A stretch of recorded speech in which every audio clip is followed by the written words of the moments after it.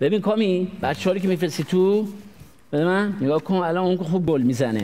دو دو چهار میچینیشون. دو دو چهار رو می‌ذاری یعنی دو تا عقب دو تا جلو چهار تا میرن برای حمله. باید گل دو دو بزنیم. چهار؟ دو دو چهار. باید گل بزنیم. یعنی دفاع دو تا. دروازه‌بان هر موقع وقت کرد بره جلو دریب بزنه بره. چون هیچ کی به دروازه حساب نمی‌کنه که. مربی هندبال که نیستش که خب ما گل می‌خوریم که. شیوه منه.